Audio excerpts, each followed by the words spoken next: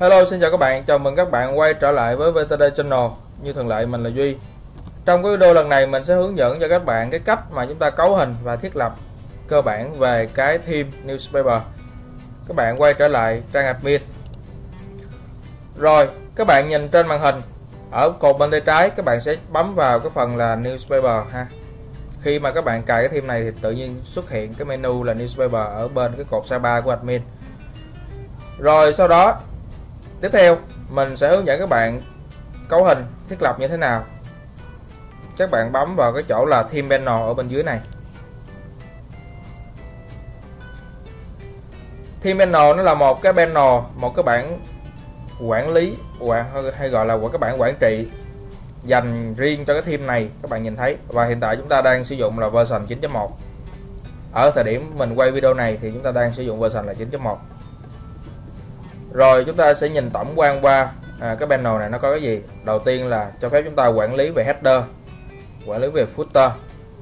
Header với footer là gì thì à, các bạn đã biết rồi ha chắc chắn là các bạn phải biết hai khái niệm này rồi. Tiếp theo là quản lý về ads ads tức là quảng cáo những cái banner quảng cáo đó. Rồi về phần layout setting tức là những cái thiết lập về layout bố cục. Layout là bố cục. Thì các bạn sẽ thấy nè có cái template setting thiết lập về template. Rồi thiết lập về category tức là chuyên mục rồi thiết lập về bài viết post setting. Rồi những cái phần thành phần khác ví dụ như là blog thiết lập về blog nè. Rồi về background tức là hình ảnh background. Rồi excerpt. Tiếp theo là chúng ta có phần là translation tức là dịch. À, dịch ngôn ngữ. Rồi theme color tức là màu sắc về theme. Theme phong tức là những cái phong chữ theme custom code tức là những cái đoạn mã code mà các bạn sẽ nhúng vào website hoặc là những cái, cái đoạn mã mà chúng ta viết code thêm cho cái giao diện này. Analytics và GS code là những cái đoạn JavaScript mà các bạn nhúng vào website thì chúng ta sẽ nhúng bằng ở chỗ này. Rồi social network là những cái mạng xã hội cho phép chúng ta cấu hình những cái mạng xã hội ở trong cái giao diện này luôn ở trong website của bạn luôn ha. Rồi CPT và taxonomy import và export import export thì cho phép chúng ta là à, export tức là xuất ra những cái cấu hình mà chúng ta thiết lập cho cái theme này. Tức là các bạn cấu hình cho đã xong xuôi hết rồi từ A tới Z rồi thì các bạn export để chúng ta lưu lại lưu lại cái cấu hình. Để mà lần sau các bạn lỡ có cài lại giao diện hoặc là chúng ta cài mới một cái website nào đó thì các bạn chỉ cần là import lại cái cấu hình là xong. Chúng ta không cần phải ngồi mò mẫm lại từng những cái thiết lập này rất là lâu. Bởi vì cái theme newspaper nó rất là nhiều thiết lập. Rồi những cái thiết lập về plugin thì đây có hai plugin à, đi kèm với cái theme các bạn thấy nè. Theme AMP và cái theme multipurpose ở đây. Rồi bây giờ mình sẽ hướng dẫn mình sẽ lướt qua những cái nội dung quan trọng ha các bạn. Những cái nội dung nào không quan trọng thì các bạn sẽ nghiên, nghiên cứu và tìm hiểu thêm. Rồi đầu tiên là phần header header. Bây giờ mình phải ra cái trang chủ nè. Mình nói về cái phần header nằm ở vị trí nào. Đây là cái phần header các bạn. Từ cái chỗ mà menu header nè. Menu ở trên cùng top top menu á, cho tới cái cái dưới này luôn. Đó là cái phần header. À tính luôn cái thanh màu màu màu xám đen này luôn nha. Thứ năm tháng 12 nè. 13 tháng 12 2018 nè.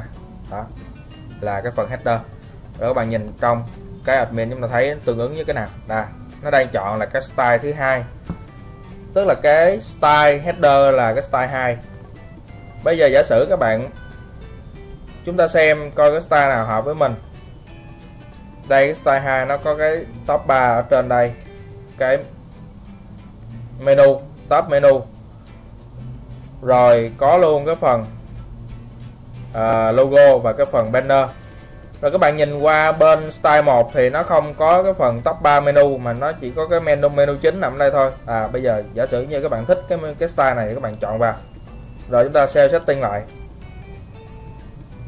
Rồi chúng ta quay trở lại trang chủ và các bạn F5 lại thì các bạn sẽ thấy được cái sự thay đổi ha. Cái top 3 menu lúc nãy nó mất rồi, nó chỉ còn đúng cái menu chính ở đây thôi. Thì theo mình nghĩ thì cái website lúc này nó sẽ gọn hơn ha, tại vì tự nhiên header mà cái hai menu nhìn nó khá là rối cũng tùy trường hợp thôi tùy cách bố cục của bạn và cũng tùy cái cái nội dung tin tức nội dung các bạn đăng trên website mà chúng ta cái bố cục của chúng ta nó sẽ khác nhau. Cho nên là các bạn ở đây lưu ý. À, những cái bố cục ở trên web này các bạn không thích cái thành phần nào cái thành phần nào nó rối thành phần nào các bạn muốn tắt đi thì các bạn vào admin chúng ta tắt đi thôi ha. Không nhất thiết là chúng ta phải để mặc định y chang vậy. Rồi quay trở lại cái à, header. Rồi tiếp theo mình sẽ nói về cái phần search position. Search position tức là cái ô tìm kiếm vị trí của ô tìm kiếm. Các bạn nhìn thấy mặc định nó đang là ở chỗ main menu tức là menu chính. Đây chúng ta quay trở lại chúng ta nhìn thấy nè. Ô tìm kiếm nó là cái này. Đó nó đang ở nằm trong cái cái phần menu chính luôn. Ở đây nó cho phép chúng ta hiển thị một là top 3 nhưng mà top 3 nãy mình ở mất tiêu rồi cho nên là có cái tùy chọn thứ hai là hidden hidden tức là ẩn đi. Ha khi mà chọn hidden á đây giờ các bạn bấm hidden xong rồi chúng ta bấm sell setting lại. Rồi ra ngoài đây F5 lại cái. Để các bạn thấy nè cái uh, biểu tượng search nó mất tiêu rồi ha. Thì cái search là một trong những cái tính năng rất là quan trọng đối với WordPress cũng như là đối với website nói chung. Cho nên là cái, cái phần search này không nên tắt đi ha. Các bạn chọn là menu default để mà người dùng chúng ta vào website chúng ta có thể tìm kiếm được cái nội dung hữu ích. Rồi phần top 3 phần top 3 đây các bạn có thể chỉnh sửa nè. Giao diện. Chúng ta có thể chỉnh sửa cái cái giao diện của top 3 rồi. Rồi tiếp theo các bạn thấy uh, layout top 3 đây rồi show top menu ha các bạn muốn show top menu thì các bạn chọn còn không thôi à, cái phần top 3 này nãy mình tắt mất tiêu rồi cho nên là ở đây setup cái phần thiết lập này nó cũng không có ý nghĩa gì hết. Cho nên mình sẽ nói sơ qua ha. Rồi có hiển thị cái biểu tượng social hay không? Màu xanh này tức là có nè. Tắt nó đi thì các bạn bấm vào thì nó hiện màu xám là tắt. Bật là màu xanh. Rồi có cho phép chúng ta đăng ký hay không? Đăng ký hoặc đăng nhập hay không? Dĩ nhiên là website tin tức thì đâu có cái chuyện mà cho phép người dùng đăng ký đăng nhập. Cho nên các bạn nên tắt tắt nó đi. Rồi, hiển thị ngày tháng hay không? Đây. Rồi, những cái thứ khác. Rồi, tới cái phần menu menu, tức là menu chính. Ở đây các bạn có thể chọn nè. Menu này được tạo ra với cái tên là TD Demo Header Menu. TD Demo Header Menu nó nằm ở đâu? Đây mình sẽ mở cái phần menu menu cho các bạn ở trong cái phần giao diện menu. Mình mở một cái tab mới để cho các bạn xem cái menu nó ha. Đây. TD Demo Header Menu nó đang là menu chính nè. Đó, đây là những cái menu chính của chúng ta nè. Rồi, mega menu reloader reloader tức là cho phép tải tải trước. Các bạn, cho phép tải trước. Thì không, tải trước, default để tránh cái trường hợp là gì các bạn? Khi mà chúng ta tải trước á thì nó sẽ làm giảm cái tốc độ làm giảm cái tốc độ của website. Chúng ta nên để là no reloading tức là khi mà à, khách hàng khi mà người dùng chúng ta rê vào cái menu á tức là khi mà rê vô đây thì nó mới tải ha. Rê vô đây đó rê vô đây nó mới tải. Chứ cho tải trước á, thì nó sẽ làm giảm cái tốc độ của website của mình. Và họ tức là người đọc họ sẽ cảm thấy bị chậm website bị chậm thì nó không tốt. Rồi sticky menu. Sticky menu là cái menu mà nó nó nằm à, cố định ở một chỗ ở trên header. Khi mà các bạn scroll chuột xuống tức là các bạn kéo chuột xuống. Đây mình sẽ ví dụ các bạn thấy. Đây. Rồi bây giờ mình scroll chuột xuống nè. À scroll chuột xuống thì ở đây không có. Đây đây các bạn thấy nè. Đó thấy không? Các bạn scroll chuột lên nè nó có sticky menu nè. Scroll xuống thì nó không có đúng không? Nhưng mà khi mà scroll chết scroll lên nè nó có. Đó. Thì chỗ này các bạn có thể chọn ha. Smart snap. Smart snap tức là à, cái tính năng là cố định nhưng mà thông minh. Thì luôn luôn là always. Mình cứ để mặc định thôi. Rồi các bạn có muốn hiển thị cái những cái icon của mạng xã hội hay không? Nếu có thì tích vào đây còn nếu không thì chọn ở đây à, mình vẫn để mặc định. Rồi phần logo favicon đây các bạn có thể thay đổi cái logo của mình bằng cách là chúng ta bấm vào upload. Rồi các bạn chọn cái logo của mình ha. Đây thì mình à, hiện tại mình không có logo logo nào để demo cho nên là mình cũng không chọn mình để logo mặc định ha. Cái việc mà upload logo này y chang như cái việc mà các bạn upload hình đại diện cho bài viết ở trong cái series cơ bản mình nói rồi đó. Cái chỗ này rất là đơn giản thôi các bạn có lẽ là đã thuần thục rồi rồi logo cho cái màn hình retina. Có lưu ý nè các bạn lưu ý ở chỗ này nè. Logo màn hình retina thì khuyến nghị là cái kích thước là 544 nhân cho 180 pixel. Còn cái logo mà bình thường á, thì các bạn thấy nè 272 nhân cho 90 pixel. Đó, cái logo bình thường thì nó sẽ nhỏ hơn. Tuy nhiên đối với màn hình retina thì các bạn logo nó có kích thước lớn hơn rồi nếu mà các bạn không có logo cho màn hình retina thì thôi khỏi khỏi cần. Chúng ta remove ở đây cũng được ha. Còn không thì các bạn cứ upload. Và những cái thông số này là thông số mà khuyến khích của cái giao diện newspaper nó đề xuất chúng ta. Cho nên là khi mà các bạn thiết kế logo chúng ta nên tuân thủ theo cái cái à, kích thước này. Để mà tránh cái trường hợp là cái logo chúng ta nó hiển thị không được đẹp. Rồi favicon beacon đó là cái icon này các bạn nhìn thấy con trỏ chuột của mình nó nằm ở đây trên tab, trình duyệt favicon đó là cái biểu tượng này. Đó, các bạn. Kích thước của nó là 16 x 16 pixel và cái đuôi là png các bạn có cái favicon thì các bạn bấm nút upload. Rồi chúng ta tải hình favicon lên đây. Rồi, những cái thuộc tính khác này rất là dễ thôi. Text logo là trong cái, trong một số cái trường hợp là cái header của các bạn không phải là hình mà nó là dạng chữ thì các bạn nhập cái cái tên à, của cái logo. Ví dụ như là VTD channel á. Rồi hoặc là cái tên gì đó các bạn thích. Tagline. Ví dụ như là tự học. WordPress. Rồi thì các bạn lưu ý các bạn đọc thêm cái phần ở đây nè. Cái phần mà text logo nó chỉ sử dụng cho cái style số 9 số 10 số 11 thôi. Style 9 10 11 là cái style nào? Các bạn scroll lên nè chúng ta thấy nè 9 nè 10 11 nè. Ba cái style này thì cái stack logo nó hoạt động mà. Còn những cái style 1 2 4 5 6 7 8 12 rồi style 1 multipurpose. Rồi style 2 multipurpose. Rồi style 3 multipurpose. Nó không hoạt động được. Đó. Cho nên là khi mà thiết lập một cái nào đó thì các bạn lưu ý chúng ta đọc những cái hướng dẫn ở dưới này. À, hoặc là những cái ghi chú ở dưới này dĩ nhiên là hai cái này mình nhập à, để demo thôi chứ mình đang sử dụng cái style là style số 1 là dĩ nhiên là hai cái này nó không hoạt động rồi. Rồi ngoài ra có cái phần logo cho mobile các bạn bấm vào chúng ta thấy logo cho mobile nè. Rồi header background header background thì mặc định à, nó không có setup cho chúng ta. Tức là cái giao diện demo này nó không có header background các bạn muốn thì các bạn upload cái hình background của mình lên còn không thì thôi rồi iOS bookmarklet đây iOS bookmarklet là hiển thị những cái biểu tượng những cái icon mà khi mà chúng ta bookmark một cái uh, cái cái trang web á, thì nó sẽ hiển thị cái icon đó trên cái màn hình điện thoại. Thì thường là lưu ý các bạn nếu mà các bạn uh, cố gắng chúng ta thiết kế đầy đủ những cái uh, icon theo đúng thông số ví dụ như là 70 76 x 76 pixel rồi 114 nhân 114 pixel ha. Chúng ta nên tuân thủ theo cái thông số này để mà cái khi mà người dùng á, họ sử dụng tới chức chức năng đó thì nó sẽ hiển thị cái hình ảnh nó đẹp mắt và nó không có bị ờ, bị vỡ hoặc là nó không có bị méo gì đó.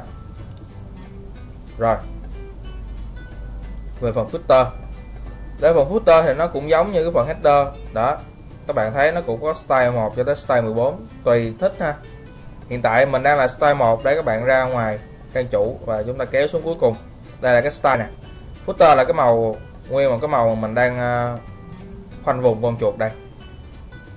Các bạn thấy đang là style 1 nếu mà các bạn thích style 2 chúng ta chọn style 2 hoặc là thích cái style ngắn gọn hơn thì chúng ta chọn ờ, style số 6 à, số 8 rồi các bạn bấm save setting. Rồi chúng ta quay trở lại à, trang chủ F5 lại một cái rồi các bạn rê chuột xuống đây chúng ta thấy đây bây giờ cái phần footer nó sẽ rất là gọn à, cho mình ha. Ngoài ra là những cái thiết lập khác à, các bạn cũng có thể chúng ta dành thời gian để chúng ta tìm hiểu thêm. Cực kỳ nhiều thiết lập. Và trong cái video thì mình không thể nào nói hết từ A đến Z những thiết lập này.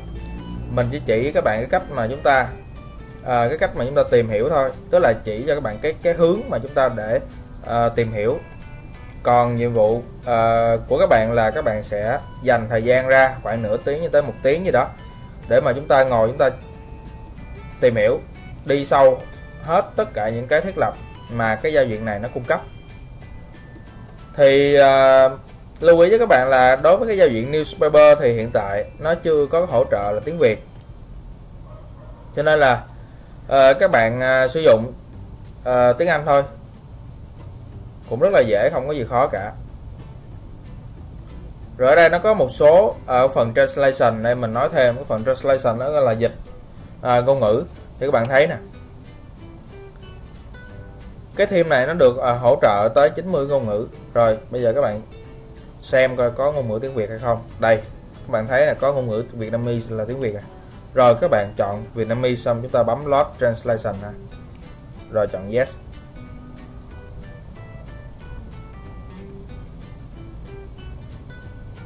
Rồi các bạn à, F5 lại cái này.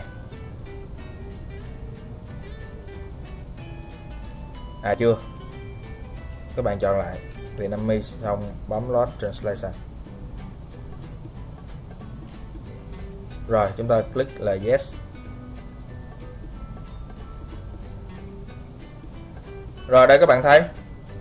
Cái giao diện à, một số cái một số cái chữ uh, trong giao diện này nó đã được dịch sang tiếng Anh. À, dịch sang tiếng Việt để các bạn thấy nè. View all results là xem tất cả kết quả nè.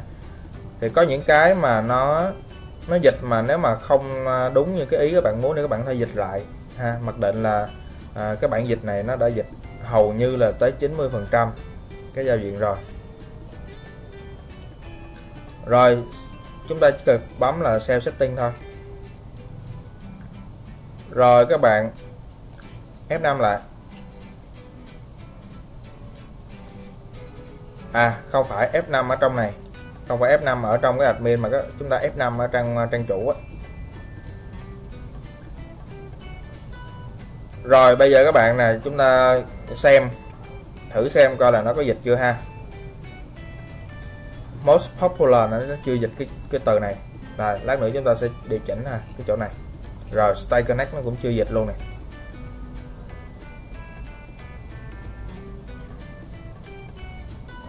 rồi và chúng tôi có vẻ nó đã dịch rồi nè. Theo dõi chúng tôi nó cũng dịch rồi ha. Một số cái nội dung mà các bạn thấy chưa dịch thì chúng ta sẽ tìm cách nào đó để mà chúng ta việt hóa.